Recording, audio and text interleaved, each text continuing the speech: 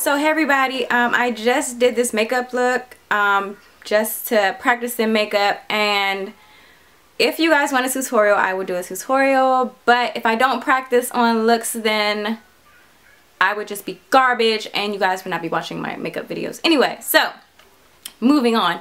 Um, this video is going to be about the foundation I used today. So the foundation I used was by CoverGirl, the Clean and it's for normal skin and I have it in 160 classic tan I'm trying to get it in focus for you guys looks like this I don't know how much the packaging has changed because I've had this for a really really long time um and I just decided to use this today. I've never used this until now. As you can see, it's like super old. Like I think someone bought this for me and I just never used it.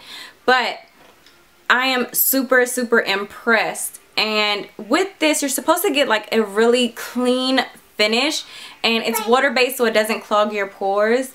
And it is super, super lightweight. Like, it looks like a heavy-duty foundation. Let me see. Take it out.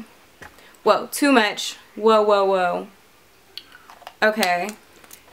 So, it looks like a heavy foundation, which I think it is supposed to be. So it is water based, like I said, so it's going to look kind of watery, but it is full coverage, but it's super, super lightweight. And I am just so surprised at the finish. Like, this gave me like a really flawless finish. And I really, really like this. Like, it feels like I don't have any foundation on. Um, so, yeah, that was just like my show and tell guys. I'll think about doing a tutorial for this. If you guys want it then I will do it. Um so yeah just in case someone's gonna ask me my hat is from Charlotte Russe and my sweater is from Kohl's. This is the sweater by Vera Wang. It's really really long. Um but yeah. Super. And it smells like um how can I explain it it smells like a facial cleanser. So I'm not sure.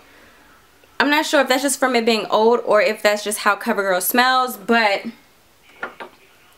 I really, really like this foundation. I think it gave me a really nice finish and it looks really fresh. So I think this is what it's supposed to be, which is why it's called clean. So I think it's supposed to give you that fresh face look and so far I am not let down and I might have to start using this more often.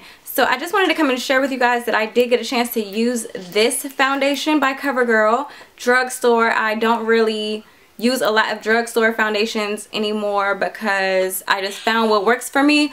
But since I had this and I tried it out, I wanted to come and share it with you guys because this is just the bomb. So let me tell you what it says on the back. It says designed for normal skin, natural coverage that leaves and look, I mean that feels and looks fresh it's water based so it won't clog pores.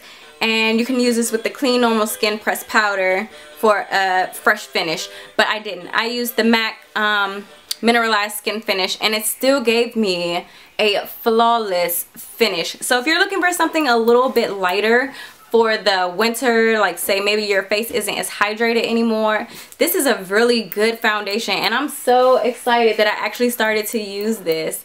Um, so yeah i'll be doing a lot more uh found i mean videos with that foundation. Um so yeah guys if you want a tutorial on this look please let me know. Leave it down in the comment area and i will be sure to do that for you guys. So i will talk to you guys later